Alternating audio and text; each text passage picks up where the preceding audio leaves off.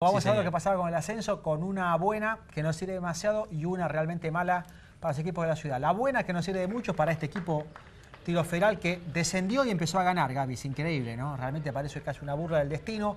Debe ser un tema de la falta de presión, de jugar suelto, ya con la cuestión deportiva definida. Dos señoritas, una de ellas que es la Una hija... rubia y una morocha. Exacto, que es la hija del árbitro Truco. Gisela Truco es asistente de, de primera de torneos de ascenso y estuvo aquí en Rosario. Gol olímpico para el arranque del partido en el segundo tiempo. En, realidad los goles Ah, fueron los últimos empezaba. 15. Gol olímpico de Carlos Fondacaro. Entre los 15 y los 30 del segundo tiempo pasó todo y Tiro liquidó 3 a 0 como local ante Independiente de Neuquén que estaba peleando arriba. Gran jugada por la derecha de lindo gol. Centro a la cabeza de un goleador que viene de inferiores. Para mí tuvo pocas chances en el campeonato. Guido Carloni se llama. Delantero de muy buen físico de cabeza.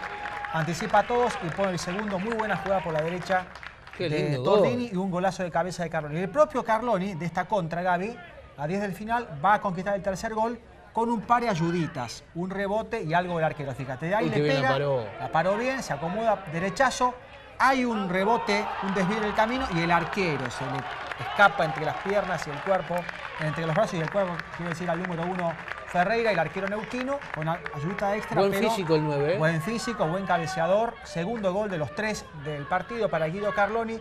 Ganó tiro 3 a 0, pero lamentablemente ya es tarde. Descendió, ganó de visitante, ahora de local.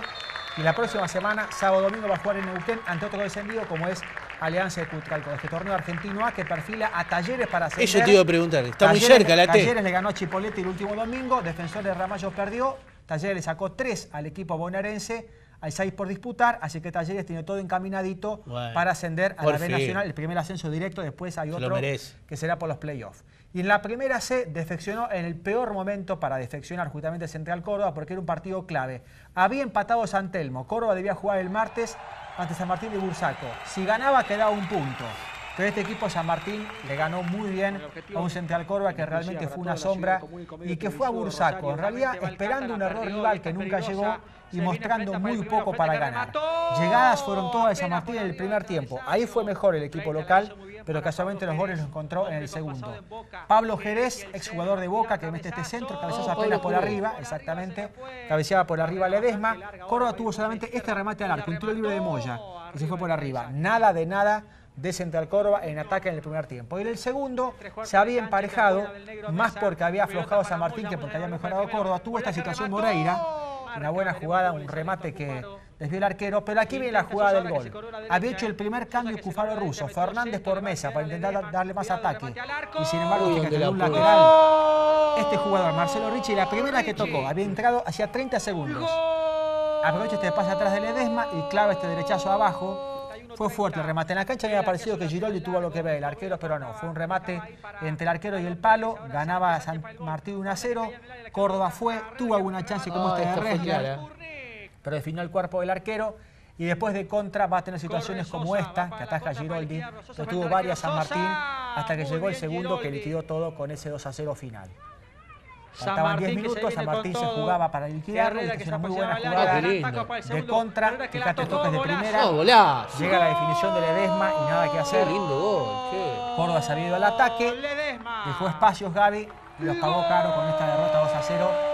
Ahora quedó a 4 de San Telmo, a 4 fechas del final y claro, hay que ganar todo lo que queda, que no es fácil Gaby. Y además esperar que San Telmo también empate dos partidos y pierda uno. Y eso parece muy difícil. Tuvo la situación del tercero, este remate del palo se le escapó por a San Martín. Ganó de punta a punta el equipo de Bursaco. Córdoba lamentablemente no mantuvo su nivel, debía ganar, la presión le jugó en contra, cayó 2 a 0 y ahora el próximo sábado, no hay mucho tiempo para lamentarse, el sábado 15 a 30 va a jugar como local ante Doc Sud, otro equipo que pelea arriba.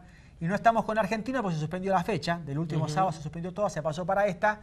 Argentino va a jugar como local también el sábado a las 3 y media ante Sportivo Barracas que puede ser campeón si gana porque viene puntero Barracas y si no lo hacen Liniers y Atlas. Así que puede haber vuelta olímpica en la primera D si es que Sportivo Barracas saca algunos buenos resultados de rivales y le gana a Argentino el próximo sábado en la cancha del Saladito. Así que entre sábado y domingo van a jugar los tres eh, como locales Córdoba y Argentino y Tiro Federal en Neuquén. Muy buenas imágenes, Chelo. ¿eh? Bárbaro. Muchas que, gracias, Gaby. eh, mucha gente agradecida. Yo vivo en la zona sur eh, y espera mucho los jueves. Perfecto, Dice, está el Chelo perfecto.